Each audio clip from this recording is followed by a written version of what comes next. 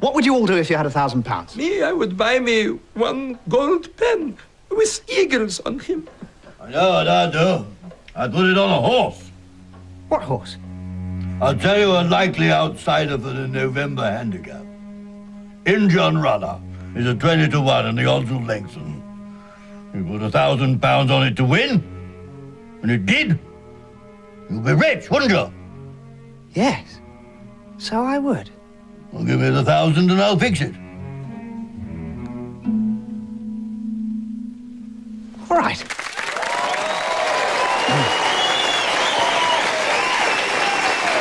A clip there from Bright Young Things. And now, can you please welcome the director, Mr. Stephen Fry? Hello. Thank you. Thank you. Thank you, Now, uh, uh, Bright Young Things is about uh, the sort of people who in today's age might congregate in Flemington. Is that a fair comment? Uh, it certainly is, yes. We had, um, uh, you know, we had a few of them yesterday, um, a few bright young things and a few bright old things a few society matrons who looked as if they'd spent a little bit too long under the toasting grill. Um, they're extraordinary. I was reminded of a poem by Ogden Nash about a rich American woman like that, you know, with that lizard skin and the too much mascara and the skeletal features. And it describes her opening a packet of cigarettes in the lounge of the Plaza Hotel like a lion opening an antelope. You know, the, those kind of, the talons those rich old women have, they kind of rip at things, and that greed, that sort of, this extraordinary sight, these women. I've never seen anything like it. Never seen anything like it. Extraordinary creatures. Does the uh, does Flemington talk to you both on the, the, the world of the horse and the world of fashion? I was able, with great confidence, to tell people as some as a Briton what a great jockey Frankie Dettori was, and what a marvellous, uh, incredible setup the Godolphin stable was, and how you know Millstreet is an e each way bet, and Mamool is a dead cert for a win, uh, and they believed me and uh, uh, tore me to pieces like a lion opening an antelope later. Uh, it was a disappointing Melbourne Cup for me, but then you see, I have a theory about horses. They are monumentally stupid. And I know people who love horses tell you that, oh no, they've got wonderful instincts. I, I did a film once where I had to ride a horse, and it was this big horse, and you know, you get on it, and it goes, whoa! What's that? And you, you, it's a hedge. You saw one yesterday. you know, whoa! What's it? It's a piece of paper. That's all, and it's not going to hurt you. Oh, everything is. Oh, they're just so scared. You know, they're such pointless animals. Yes, yes, yes, they are stupid. Um, and I don't know what's more stupid: um, following them, oh, yeah. taking an interest in them, or being one. I don't know which is the more the more stupid position. Well, the English aristocracy solved that by being both at the same time. They yeah, are, indeed. Yeah, they are horses and they pursue yes. them. And, yeah. Did you did you have a bet yesterday? I did on the yeah. Mool. Yeah. On the Thank you oh. very much indeed. Yes, indeed. And do you follow it in England at all? I like the classics. I like the the Derby. I particularly like the sticks, the hurdles. You know, I love the the Gold Cup is a is a fantastic uh, week at Cheltenham uh, of of jump um, jump racing, which is just mm. matchless. Um, very much dominated by the Irish, who, who, love their horses. And how would the scene there compare with what you saw yesterday? I mean, I know the weather's well, slightly different, but well, uh, it's something like Ascot, Royal Ascot, uh, where the Queen comes down in her big, you know, um, uh, carriage and um, you know drawn from all the way from Windsor Castle. And uh, it's rather weird because she mixes with everybody else. Once you're in the enclosure, which is the equivalent of the birdcage at yeah. Melbourne, you know you you can bump into her. You know you make an expensive gesture as, as one does. You know, mm. it's going to win by five. Oh, I'm so sorry, Majesty. you slapped her in the face because she's just hanging around like any, every other punter, which is rather unusual. Not many occasions where they do. They don't even seem to have security around her. Uh, and it's grand. The men wear top hats and, and stripy coats, and the women wear ridiculous hats. Uh, but we keep out the scum. We no no no Hilton no Hilton sisters, nothing like that. keep out the. Uh, you had a nice time with them, I believe. Oh, they oh, were yes, very, very, very engaging and, yeah. uh, you know, yeah. obviously got a... You talked about uh, the French philosopher Henri Bergson and his concept of time and free will, I believe. Yeah. Mm. They brought that up, though. Did they? Yeah, yes. No, we yes. shied away they from will it initially. Do. They, yeah, yes. they will do. They just dominate with their intellectual And how do you, speaking of them, how do you get on with the, with the concept of fashion as you encountered at the races as opposed to the problem of picking winners? It's repulsive, isn't it? It's so it's so incomprehensible. I really, it's not a language I can begin to speak. I don't understand the basic grammar, um, the vocabulary, anything to do with fashion. I, I mean, I watch cat show things, and you know, I really do feel Emperor's New Clothes. I see people in these ludicrous get-ups, and I don't understand. I don't begin to understand. But I think we live in a time of very dull fashion. Very, you know, ordinary fashion is dull. You know what I mean? Uh, if you took a camera into the streets in the 1970s, yes, we laugh at the haircuts and we laugh at the, the flares, but at least it's a statement. At least it's recognisable. I, I think you could take a camera in the streets of Melbourne or Sydney or San Francisco or London in 1990 and 2000, and it's identical. For 10 years, fashion hasn't changed. We still wear kind of vaguely colourless, uninteresting, baggy, uh, not well cut things. True, but apparently green's coming back, Stephen, so this Is it's going to brighten things up no end. Well, that'll be exciting. Um, just uh, moving on for a moment to, to rugby. I mean, was rugby played at your school? Was it not? God, Lord. Yeah. I, I, I, but that time I was very much um, an aesthete rather than an Oh, I athlete, understand. And I didn't like it at all. I didn't like the mud-spattered barbarians No. who dominated the school. In Yeah. Everything, you know, you, all your success was whether or not you were in the rugby team. And uh, Yeah. I didn't like that, so I tried to form a sort of kind of phalanx of It is- aestheticism and art against it. And, And- I would go into the changing rooms and say, and have you, have you been playing the other girls at your little game and who won and who ran fastest with the ball? And I would get beaten up. And, Yeah.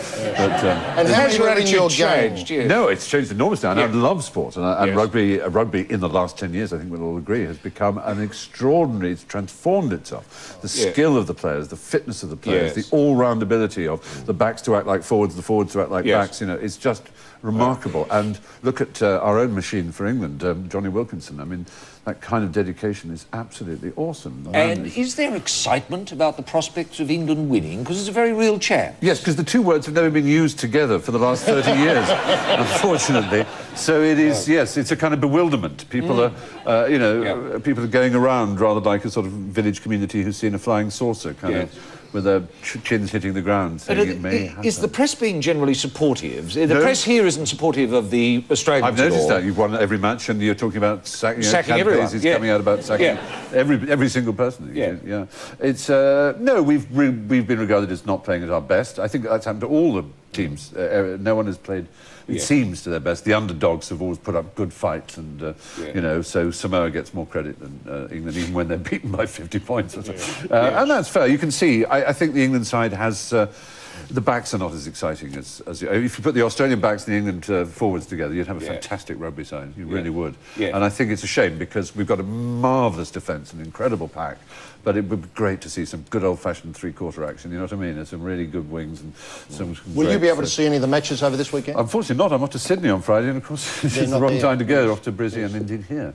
Um, but I'll be watching on telly. And how do you see the uh, the quarterfinals now unfolding and maybe looking towards the semi-finals and then maybe who do you think will be there on that? Well, as far as I can tell, it looks, you know, everyone I think will believe that um, uh, that New Zealand will get through and therefore face England. It looks like it, doesn't Yes, it? that's the most Um, likely. that, that's that's a that's a really interesting scenario. And I, my hope is, you know, how it is when you support a team, you almost want them to have a really hard time coming through the early rounds because you believe if they have too easy a passage as a true fan, you know that they'll then get destroyed when it's come. So I'm quite pleased we've had a, a hardish time, and I, th- I think we'll get better. And you always play better against good opposition. Moving on to your film, Yes. is this the first directing job you've It is. Yeah, and how, how was that? Uh, Are you an easygoing director, or I mean, Yes, Yes? I'm, I'm not a shouter. No. Uh, I'm not a believer in shouting on sets. I mean, there are those who do, but all the good ones I've worked with Hmm. uh, have used in the um, frictive passages. Uh, the great lubricant is wit and humour, I think, if I can use a metaphor like that without Hmm. Yes. disgusting too many of your viewers. Yes. It is, it is, it's a water-based lubricant, uh, and Yes. it's, uh, it's uh, easily wiped, but it is and a very important one. I do Yeah. think in a, in a creative experience like a film, especially when we, uh, you know, a lot of young actors, we have really old, established, marvellous actors like Jim Yeah. Broadbent, whom you saw in that clip, and Peter O'Toole, and Dan Aykroyd, and Yeah. um, Stockard Channing, and Yes. so on. Uh, and then these young actors, some of whom his first film uh, this is. And uh, I think if you want people to be confident on a film set, you've they've got to be relaxed. Yes. And uh, they won't be relaxed if people are shouting and looking impatient, and ex- you know. So just yeah, humour. is does is mas- massaging egos anything to do with the job at all, or do you cast according to people who are quite prepared to be part of an ensemble? It's, it's a mixture. I mean, there are, yes, there's no question that to be an actor, uh, ego is an important part, and it's not anything that's worth complaining about. Vanity is an essential for, for acting because it is about yourself. And, and those people who put themselves you know, up for extraordinary emotional outbursts and things in public, not many can do it.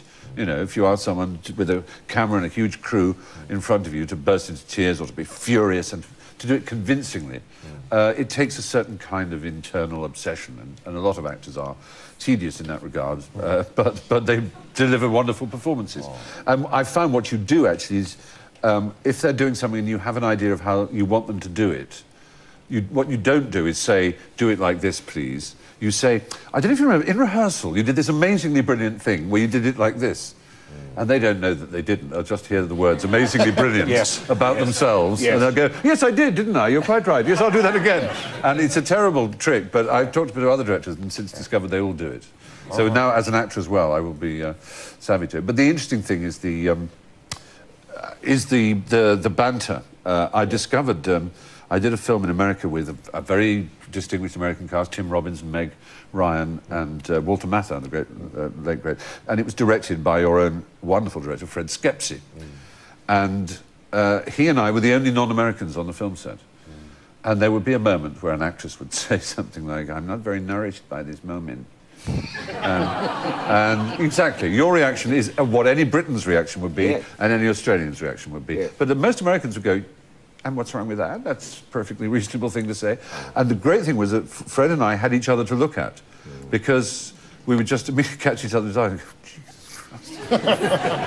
you know, and it was, and, you, and I realised in that moment that, of course, for all our enmity in sport and in uh, history of, you know, convicts and colonialism and all the rest of it, we Australians and British have a great deal more in common with each other than we do with Americans, actually. Very true. Uh, You know, and it is to do with humour and irony and self-deprecation and so on. Well, good luck with the film, and what's My next for you? Uh, Oh, and more of the same, I hope. I've got some television series coming out in England, um, two, two of them, but uh, I'm going to direct a film next year. well, look, uh, as a souvenir of your time here, we have the Stain Ensemble, of course, this magnificent rugby jumper that is only available to people who appear on this program so in your in the capacity that you've so adequately What can I uh, acquitted say? yourself in. And of course, then. The feature of coming on the carnival time is the carnival toilet roll holder. Here is another souvenir. God Can you bless please you. thank Stephen Fry? you so much. Well done. Thank you. Under my skin. I've got you deep in the heart of me.